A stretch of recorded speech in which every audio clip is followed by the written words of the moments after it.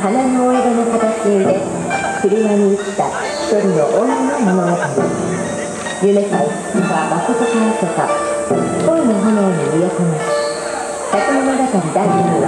かごめ語り始めていた先生。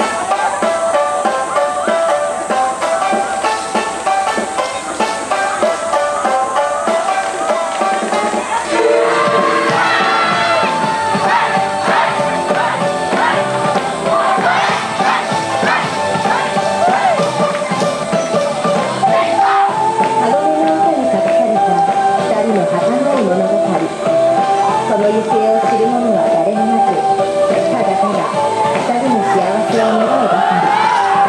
江戸の中には賑やかな祭り囃子が鳴り響き街を行き交う人々の色とりどりの漫画に